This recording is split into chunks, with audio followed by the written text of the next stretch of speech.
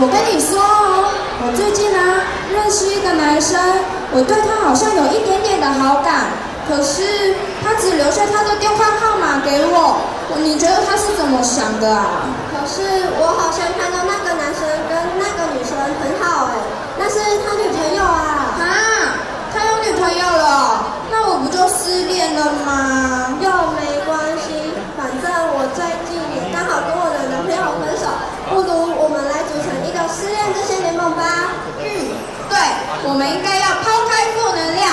刚好我最近有听到一首歌，能让我们抛弃烦恼哦。